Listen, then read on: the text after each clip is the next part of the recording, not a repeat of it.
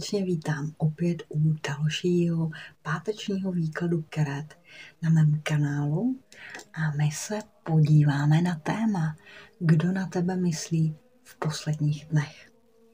Tak výklad si najde přesně ty, kteří to mají slyšet. Tak pojďme na to. Kdo na tebe myslí v posledních dnech? Ups.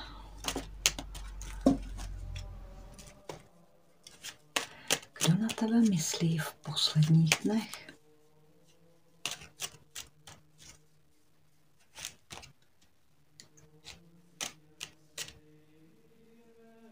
Tak.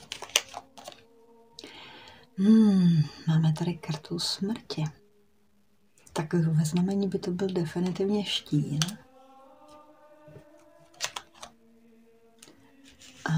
Rytíř poháru nemusí to vždycky znamenat ono znamení, ale ten člověk může mít třeba charakteristiky štíra. A velice takový jako tajemný. A nerad ten člověk, řekněme, taková zavřená kniha. Jo, nikdy do toho člověka v podstatě nevidíme. Tak pojďme na to.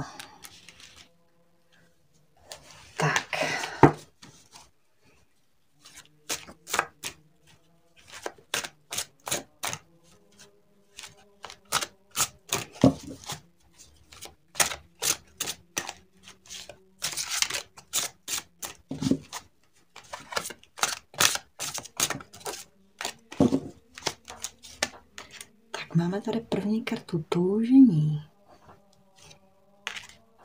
Máme tady kartu frustrace.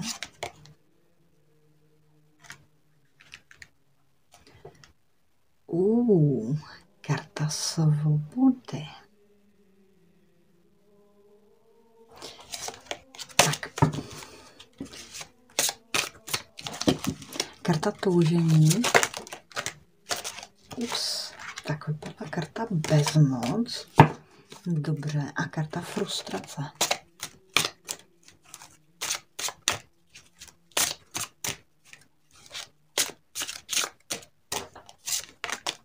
Zmatek. Hmm. Dobře. Karta svobody.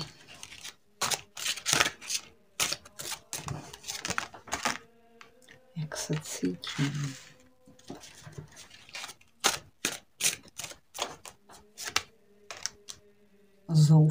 Zoufalství. Ale dobře. tak já si nemůžu pomoct.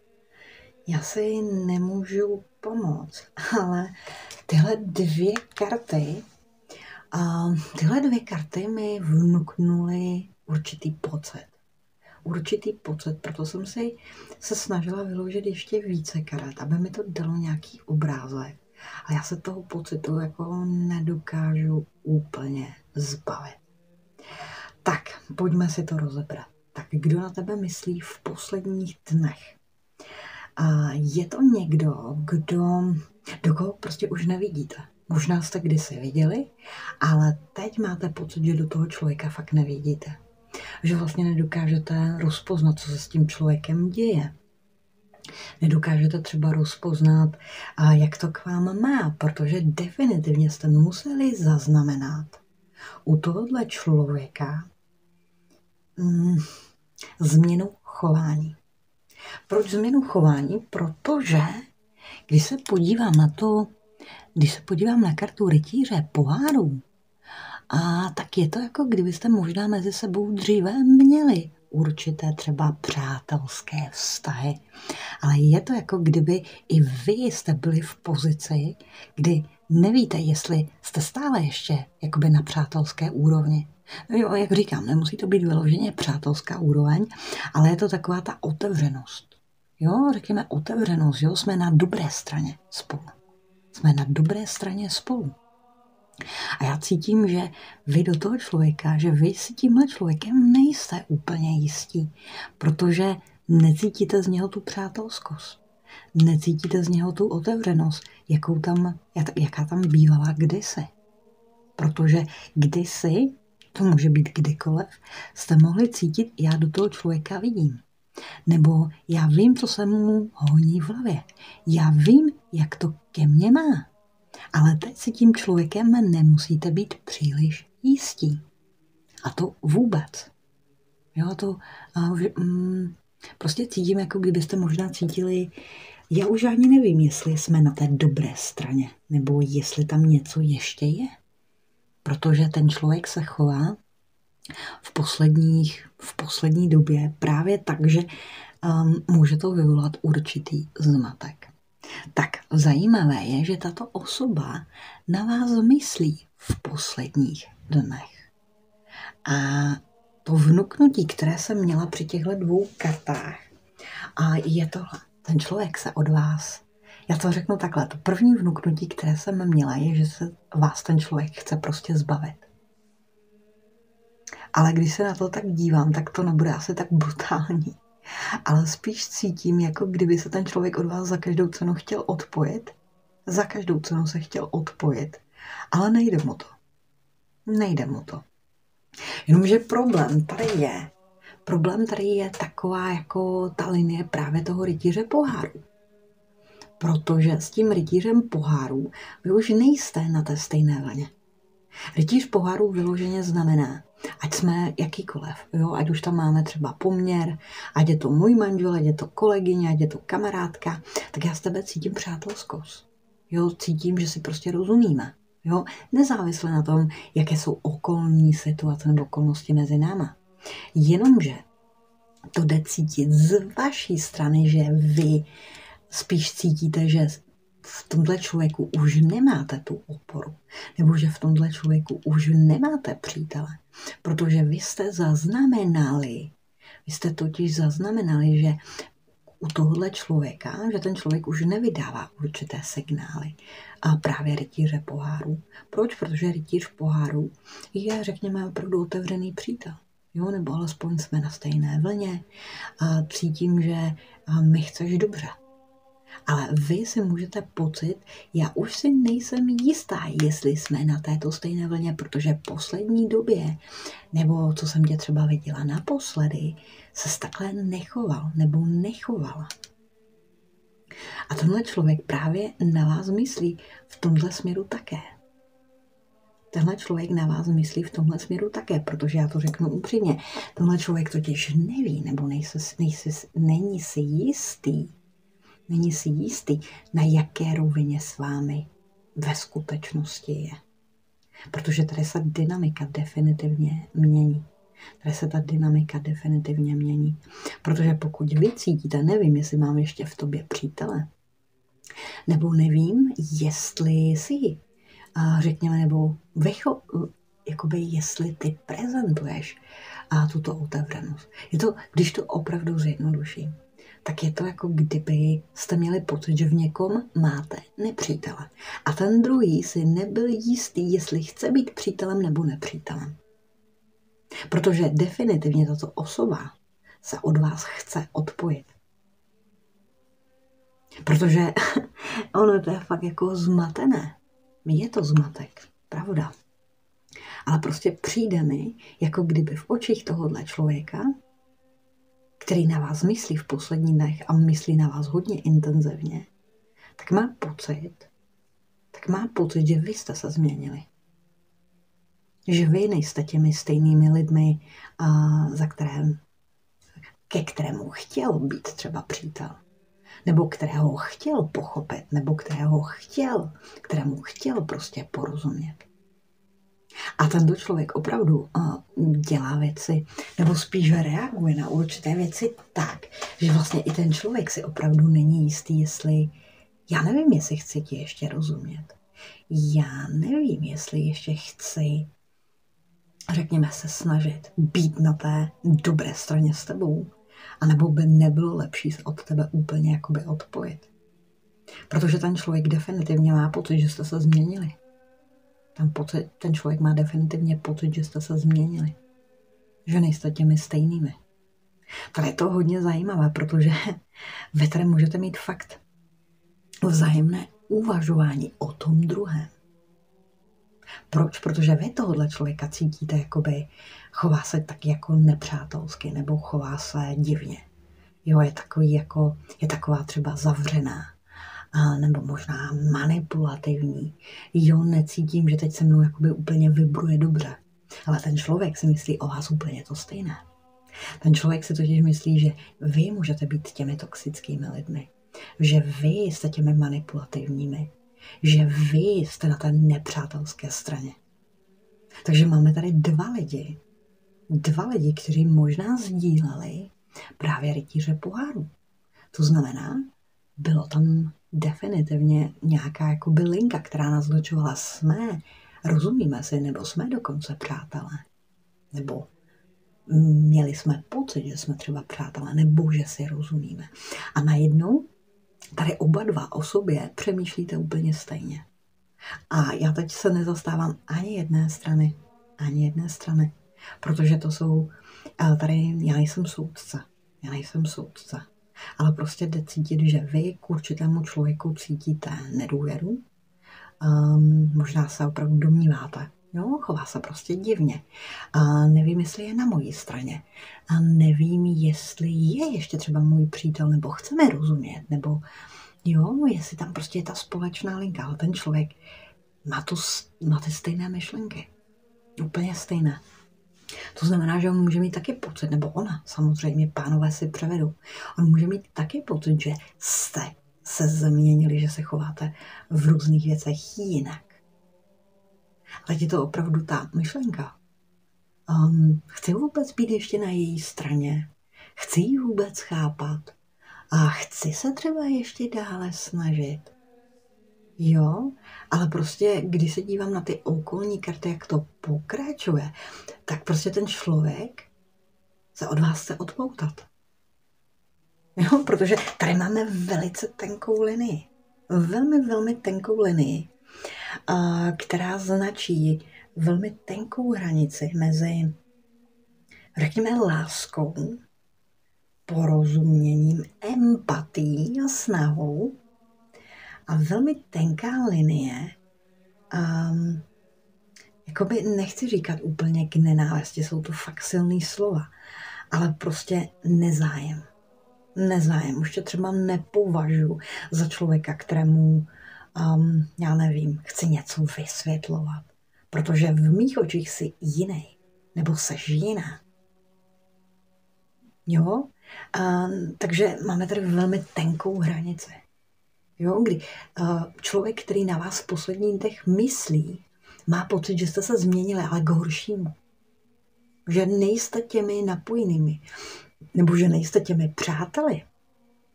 Že si možná jenom na řekněme, já nevím, na přítele třeba jenom hrajete. Jo, ale říkám, já nejsem tady opravdu o to, že kdo tady má pravdu. Jo, já říkám perspektivy toho, jak se ten člověk cítí, když přijde na vaše jméno, nebo když přijde na vaši energii.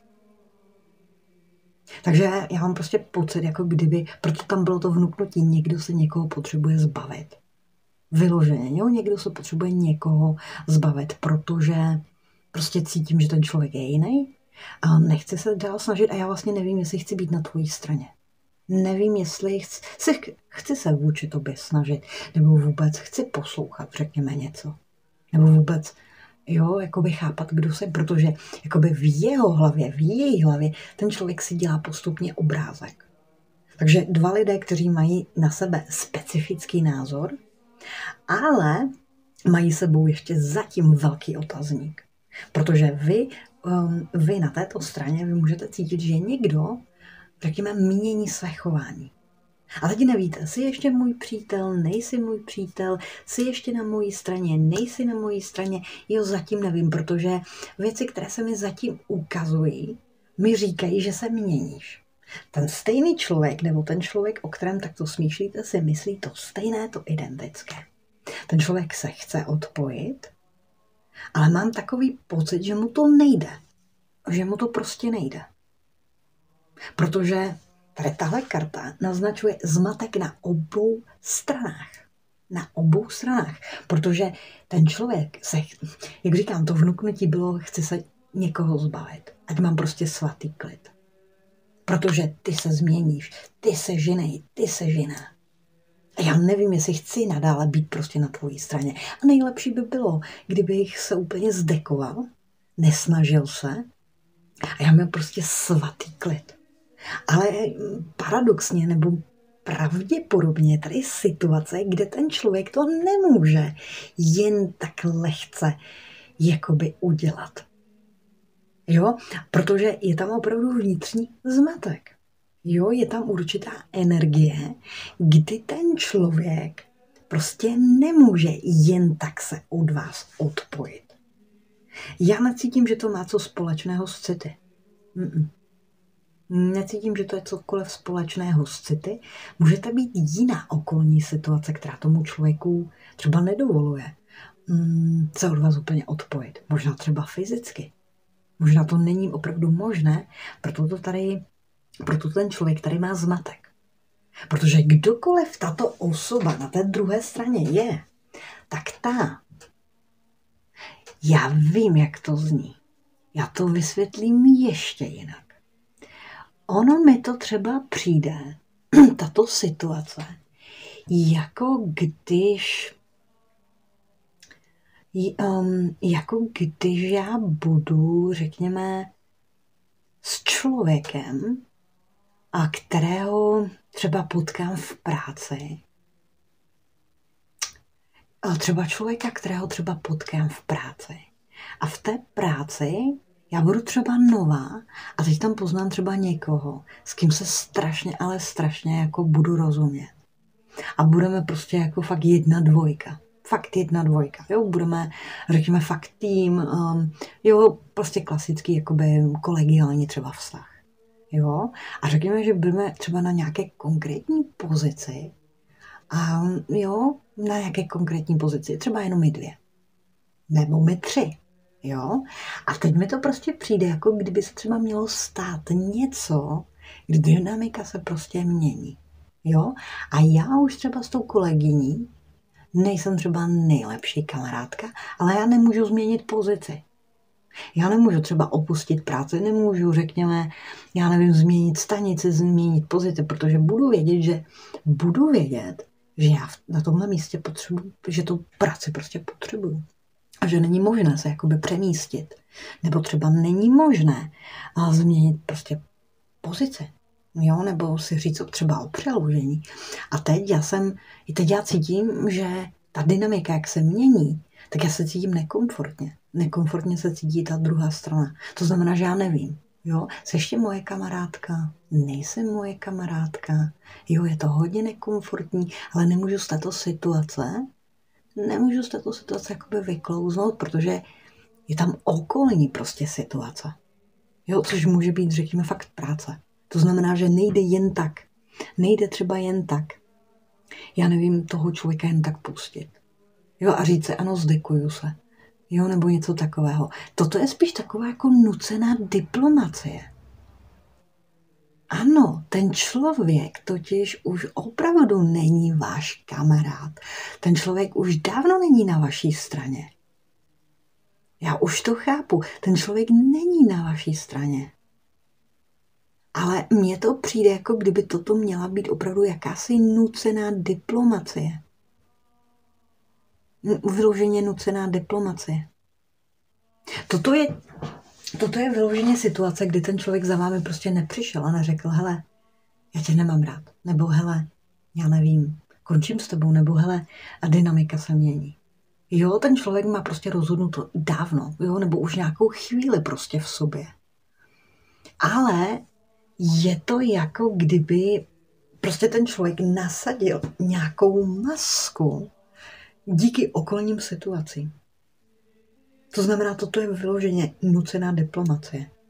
To znamená, že třeba já už dávno nějakého člověka, nebo konkrétně už nějakého člověka třeba nepovažuji za svou nejlepší kamarádku, nebo já vím, třeba sousedka, jo, vyloženě, jo, nebo třeba moje sousedka, jo, měla jsem s ní třeba dobrý vztahy, a, ale e, třeba změnila jsem názor.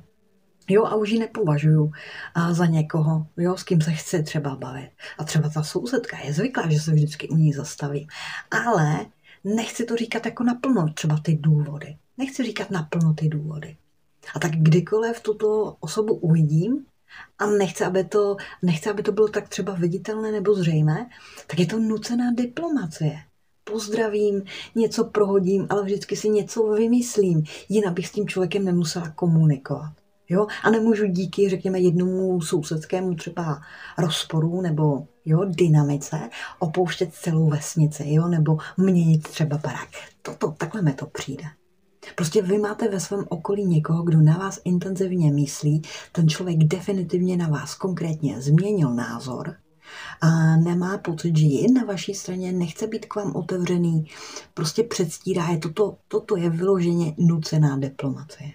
To znamená, že vlastně neříkám, že se něco změnilo mezi náma dvěma, neříkám ti, že tě nechci, neříkám ti, že se mi třeba hnusíš, nebo něco takového prostě v mých očích se změnil, změnila a já nechci, aby ty změny byly viditelné, ale přesto je cítíte.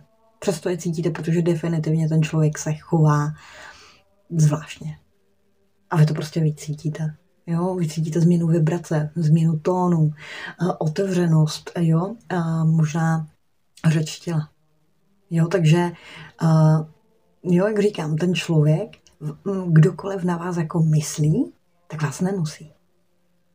Ale je to jako kdyby vlastně konverzace nepadla, jako by přímo, jako by z očí do očí. Jo, já už tě nemusím. Jo, nebo něco takového. Jo, a jak říkám, ten člověk by nejradši prostě se jako zdekoval, zdálil, ale ví, že jako nemůže. Ví, že nemůže. A může být opravdu v jakési konfliktní situaci, protože ten zmatek, jo, jak se jako mám zachovat, nebo jak se mám vůbec chovat. Jo, když ten člověk mě prostě třeba, když já už ho třeba nepovažuji za kamaráda, nebo když mě ten člověk už třeba nesympatický, nebo cítím, že něco ve mně prostě skončilo. Jo? Proto já cítím jako potřebu se něčeho zbavit, nebo někoho zbavit, ale prostě to nejde. Jo, prostě to nejde. Jo, ale zároveň nechci dát tomu člověku jakoby najevo, že se něco prostě mění, protože já jsem nucen být v nějaké situaci.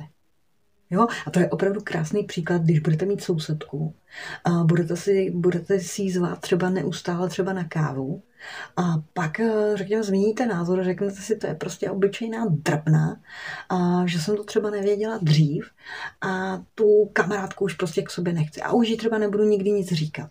Jo, nebudu jí říkat třeba svoje problémy. Jo, ale ta kamarádka, řekněme, nebo ta sousedka jako klepe na dveře. Jo, halo, halo, halo, dáme si kafe? A vy řeknete, ne, Ježíš Maria, já mám tolik, já mám tolik, řekněme, pochůzek, já nevím, vytopil se mi dům, teď nemůžeš, teď mi umřel křeček, jo, různé prostě výmluvy. Ten člověk to vycítí, ale vy tomu člověku nechcete říct, hele, seš prostě drbná a změnil se, změnila jsem na tebe názor. Proč? Protože budete chtít udržovat, řekněme, nějaký sousedský vztahy, nechcete dělat dramata. Jo, a zároveň nechcete, řekněme, předstírat s tím člověkem, jo, a mít někoho takového v blízkosti sebe. Takhle mi to prostě přijde. Jo, takže tato osoba v tomhle směru a v tomhle duchu, v této formě na vás v posledních dnech myslí.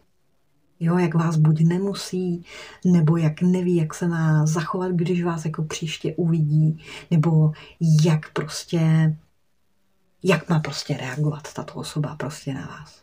Samozřejmě berte v potaz, že můžete jít obráceně. Vy můžete být tato osoba, jo, která může myslet na někoho a říct si, já toho člověka absolutně nemusím. Já toho člověka absolutně nemusím a nevím, jak se mám příště zachovat, protože se třeba předstírat neumím, ale nechci ani zbuzovat jakékoliv scény. Věřte mi, že ten člověk to cítí ten člověk cítí, je ona vůbec ještě na mojí straně, nebo to předstírá. Ten člověk přesně jakoby ví, že s vámi něco je. I když to můžete perfektně skrývat, nebo být opravdu ten rozený diplomat, ten člověk prostě vyloženě cítí, uh, že prostě něco s váma je. Jo, a má prostě i pocit, kde, odkud prostě, a odkud to prostě jde, nebo odkud to prostě míří. Jo, protože ten člověk vyloženě na této straně si říká, je ona vůbec ještě moje kamarádka, nebo to hraje. Jo, je schválně tak nucená, jo, nebo mě fakt nemusí. Jo, ten člověk prostě to ví. Ten člověk to vyloženě ví. Jo, a teď on taky jako zvažuje, jak, jaký přístup má k vám dát. Jo? Tak.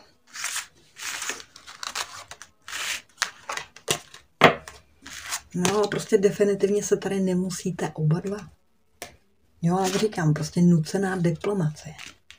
Vloženě nucená diplomace. Ale cítím jako kdyby tyhle cítím jako kdyby ty věci prostě nepadly mezi váma dvěma. Já tě nemusím, nebo jo, spíš jsou to myšlenkové pochody a výjemy, které cítíte vzájemně. Které vyloženě cítíte vzájemně. Tak, dobře. Byl zajímavý výklad, který jsem nečekala. Tak jo, jo, výklad si najde přesně ty, kteří to mají slyšet, nebude definitivně rezonovat s každým z vás, ani to nejde a nemůže to tak být, ale já věřím, že si najde rezonanci. A tak já se zase budu těšit v příštím videu.